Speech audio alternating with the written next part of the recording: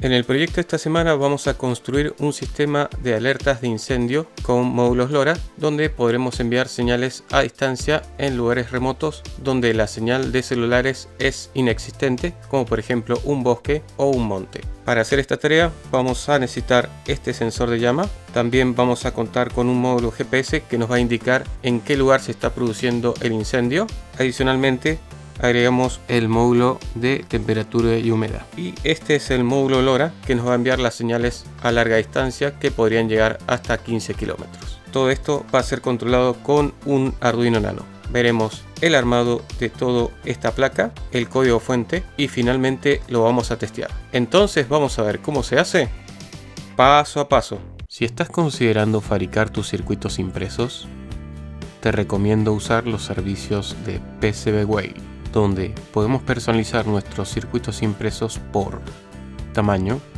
cantidad de capas, material, grosor y el color del PCB. También puedes construir tus piezas en mecanizado CNC, torneado, fresado de 3 y 5 ejes, corte por láser y doblado. Para mis proyectos yo elijo PCBWay. Componentes electrónicos dos resistores de 1 kilo un Arduino Nano, un sensor DHT11, un módulo GPS GT-7U, pines hembra, dos diodos LED de 5 milímetros, dos módulos LoRa de RF1276 un PCB, un sensor de llama KY-026, un zócalo para el Arduino Nano, pines macho. Vamos a ver el armado de este dispositivo, es muy simple. Yo de hecho ya tengo soldado lo que son los zócalos y los pines hembras y macho para colocar todos los módulos muy fácilmente. Vamos a empezar colocando acá el Arduino Nano. Vamos a colocar en esta posición. Simplemente lo insertamos ahí en el zócalo. Después el módulo LoRa. Aquí está todo el pin AU escrito que coincide con el que está acá atrás. Simplemente insertamos también. Después acá tenemos el sensor de temperatura y humedad el DHT11 el cual voy a conectar así. Acá tenemos GND 5 voltios al medio y el de señal de que es el pin número 5 está en este extremo el GPS, también el pin out está escrito en la serigrafía. También insertamos, muy fácil. Acá tenemos el sensor de llama, cable naranja, ir conectado a GND, el cable rojo a 5 voltios y el amarillo va a ir al pin analógico 0 del Arduino Nano. Acá tenemos dos resistores de un kilo para cada uno de los LED. Este LED es el que indica la alimentación y el amarillo es PPS o pulso por segundo. Cuando ese LED empiece a titilar nos indica que este GPS ya ha tomado señal de esa forma vamos a estar en condiciones de enviar los datos de latitud y longitud vamos a analizar el código fuente que vamos a utilizar para el transmisor para el sensor de llama, también el módulo GPS y el módulo de temperatura y humedad. Vamos a necesitar esta librería llamada software serial para poder comunicarnos con el módulo GPS y esta otra librería que también la vamos a utilizar para el GPS que se llama Tiny GPS. Esta otra librería es para el sensor de temperatura y humedad En mi caso voy a utilizar el DHT11. Los pines de comunicación para el GPS son los pines 4 y 3 en el Arduino. Acá podemos utilizar más de un sensor de este tipo DHT. Puede ser el DHT11, el 21 o el 22. En mi caso, bueno, voy a utilizar esta línea y si ustedes necesitan utilizar otro sensor, por ejemplo el DHT22, les comentan esta y comentan el resto. Acá tenemos algunas variables que vamos a utilizar durante el programa. En la parte de setup vamos a inicializar el sensor DHT11. Vamos a configurar el puerto serial a 9600. Esta velocidad debe coincidir con la configurada en el módulo LoRa, que en mi caso es de 9600 bits por segundo. Y también el módulo GPS está configurado a esta velocidad, pero en este caso, bueno, va a ser una librería por software. A continuación, en la parte de loop, vamos a verificar cada 10 segundos si hay datos por parte del GPS. Y cada 10 segundos también vamos a llamar a una función llamada sensores, donde vamos a leer esos sensores a ver qué datos nos entregan. Esta parte es para obtener datos desde el GPS, al igual que esto que ven aquí. Y lo voy a enviar con el formato de Google Maps por si lo quieren abrir en algún navegador y de esa forma les va a mostrar en qué lugar se ha producido por ejemplo un incendio y les va a ser mucho más fácil localizar dónde es el problema. Esta línea es para obtener la latitud y esta otra línea para la longitud. En el caso de que haya algún problema, que esté mal enchufado por ejemplo el módulo GPS, nos va a mostrar esta leyenda. No se han recibido caracteres del GPS. Compruebe el cableado. Más arriba les ha mostrado que íbamos a llamar a una función llamada sensores en esta parte vamos a leer el sensor de HT11 para obtener la humedad y la temperatura. Eso lo vamos a asignar a estas variables H y T y después lo vamos a convertir en stream. También vamos a leer el pin analógico A0 donde está conectado el sensor de llama y vamos a obtener ese valor y lo vamos a asignar a esta variable llamada sensor fuego. A continuación vamos a concatenar todos esos datos y lo vamos a asignar a la variable datos. Posteriormente lo vamos a imprimir con un serial print ln y eso lo vamos a enviar a través del módulo LoRa. En el caso de que el sensor sea menor a este valor, es muy probable que se haya producido un incendio en el lugar y se va a cumplir esta condición. Nos va a enviar esta leyenda llamada fuego, la cual va a recibir otro Arduino en forma remota y va a hacer sonar una alarma, que eso después lo vamos a ver sobre el final. Ahora nos toca ver otro código fuente que es para la parte del receptor. Veamos ahora el código fuente del receptor. Lo primero que vemos aquí es que vamos a utilizar esta librería llamada software serial para poder utilizar los pines 7 y 8 del Arduino por software, como si fuera un terminal serial. Estas variables las vamos a utilizar durante toda la ejecución del programa y en la parte de setup vamos a configurar el terminal serial del Arduino 9600 y los pines 7 y 8 por software también a la velocidad de 9600. El pin número 10 que es donde va a ir conectado un buzzer, va a ser configurado como salida. En la parte de loop, con estas líneas que ven aquí, vamos a estar leyendo lo que ingrese a través de esos pines 7 y 8 y de esa forma vamos a obtener el mensaje que ha enviado el módulo LoRa transmisor y lo vamos a asignar a esta variable llamada cadena y a continuación vamos a imprimir esa cadena obtenida en el terminal serial para ver qué información nos ha enviado que va a ser la del sensor de temperatura y humedad y el sensor de llama y también la latitud y longitud. Y puede haber un dato extra en el caso de que se haya producido un incendio en el lugar donde está transmisor y nos va a enviar esta leyenda llamada fuego. En ese caso, fuego con tres signos de exclamación.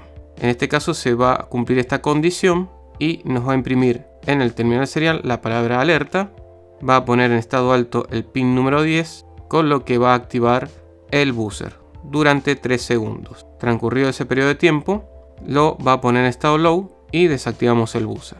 De esta forma vamos a hacer un pequeño sistema de alerta sonoro indicándonos que ha habido un incendio donde se ubica el transmisor con el sensor de llama y nos va a enviar a través de GPS su localización exacta. Finalmente vamos a limpiar la variable cadena para que no esté imprimiendo constantemente el último mensaje recibido. Llegó la hora de mostrarles cómo funciona todo este sistema. Antes que nada les quiero aclarar que la idea del funcionamiento de todo esto es para colocarlo en algún lugar donde la señal de celulares por ejemplo no llega o no llega muy bien ya que estos módulos de radio LoRa pueden tener una cobertura bastante amplia de varios kilómetros. Y sería perfecto para colocarlo por ejemplo en un bosque, en un monte donde podría haber algún incendio y de esa forma alertarnos y decirnos dónde está sucediendo este incidente. Quizá pueda ser un buen proyecto para una feria de ciencias o para colocarlo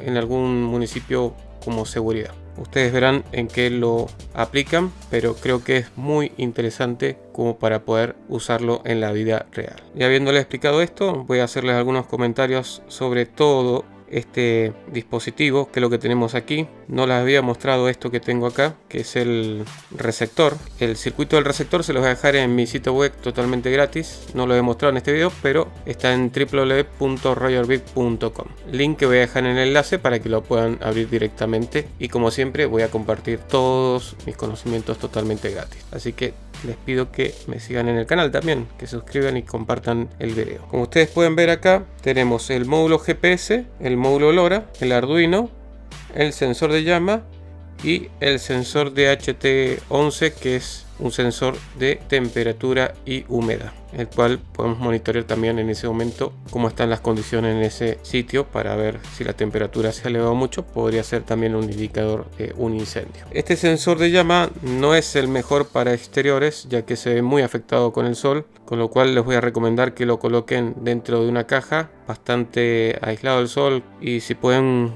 poner este tipo de filtros mucho mejor acotando mucho la ventana dejando un circulito por ejemplo para lo que es el sensor solamente para que ingrese la menor cantidad de radiación solar porque se van a ver afectados los datos en el lugar donde lo pongan así que no lo pongan apuntando directamente al sol porque van a tener muchos problemas. No es el mejor sensor porque es un sensor muy barato muy económico. Seguramente en el mercado deben haber sensores de llama mucho mejores para exterior. Quedarán ustedes investigar cuál sería una alternativa viable para poder utilizarlo y mejorar por supuesto este sistema. Pero acá más que nada es una cuestión conceptual.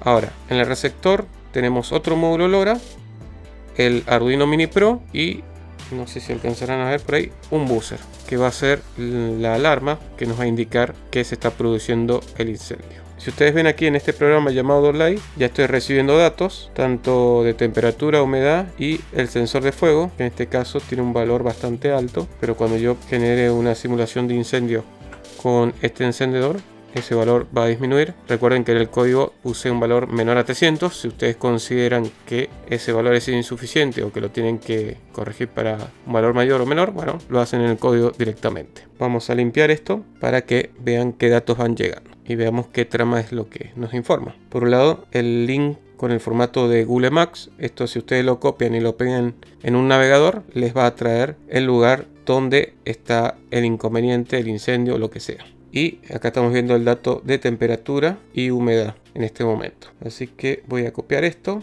Y si me voy a un navegador, lo pego directamente y me va a abrir en el mapa el lugar donde está sucediendo este inconveniente. Les aclaro que en el código fuente modifiqué la precisión, una precisión bastante mala, para no mostrarles dónde estoy exactamente. Pero esto, bueno, apareció en el medio del campo. Yo creo que estoy bueno, por toda esta zona. En fin, simplemente copiando el link, abren y pueden ver dónde está pasando este incidente. Volvamos al DOLAI, donde estamos recibiendo estos datos. Ustedes podrían colocar también un display aquí en el circuito receptor y ver estos datos también ahí directamente en un display. Sería mucho más fácil si no quieren utilizar una computadora.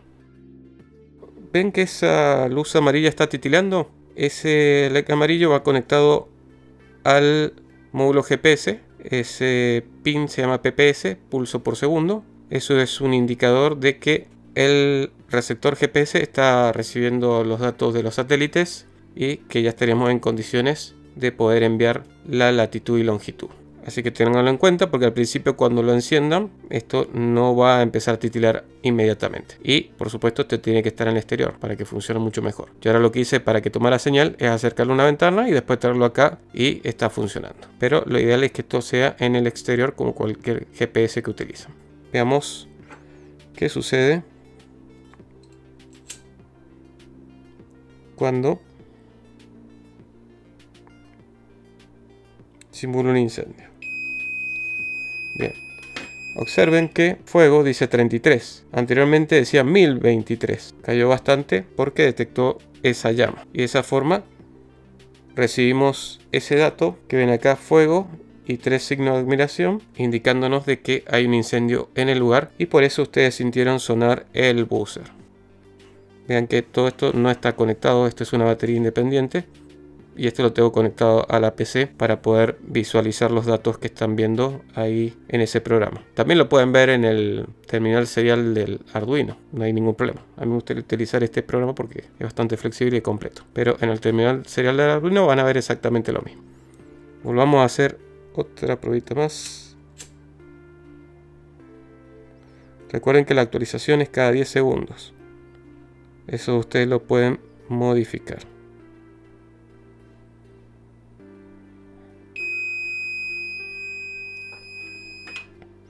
Ahí recibimos otra vez otra alerta de fuego. Seguramente que si hay un incendio va a estar emitiendo esta alerta cada 10 segundos. Así que probablemente reciban muchos mensajes con el incidente que está viendo en el lugar. Téngalo presente hasta que si llega a alcanzar las llamas esto se va a quemar y bueno, va a dejar de funcionar. Pero ya tenemos un sistema bastante bueno que seguramente se va a poder mejorar mucho más. Yo se los muestro cómo funciona y estoy seguro de que ustedes van a poder agregar de su parte y hacer mejoras significativas si lo quieren aplicar en un entorno real. Recuerden que este sensor no es lo mejor que hay en el mercado para este tipo de aplicaciones, pero es lo que tengo a mano como para poder probar cómo funciona esto. Bueno amigos, espero que les haya gustado este video. Si es así, les agradecería que den un like al video, que lo compartan, que se suscriban al canal y si lo hacen no se olviden de marcar la campaña de notificaciones, así YouTube les avisa cada vez que hago un nuevo video tutorial. También tengo un grupo en Telegram para que me puedan seguir por ahí y voy a ir dejando cada cierto tiempo los nuevos videos que estoy subiendo porque no a todo el mundo les está avisando YouTube de los nuevos proyectos que voy aplicando lamentablemente creo que está llegando al 1% o menos. La verdad que no, no le llega a mucha gente. Lamentablemente YouTube funciona así. Así que en Telegram si me siguen ahí van a poder recibir alertas de cuando hago un nuevo video tutorial. Link lo van a tener en la descripción de este video también. Bueno amigos, esto sería todo por hoy. Nos estaríamos viendo pronto con más proyectos de electrónica y robótica en el canal.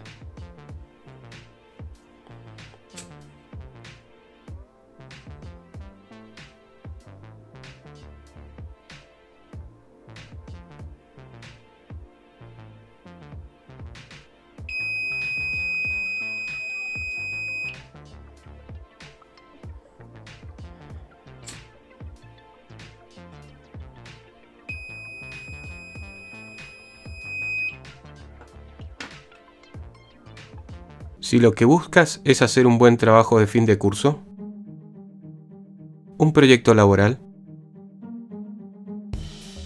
aprender electrónica, programar microcontroladores y Arduino, armar placas de circuitos.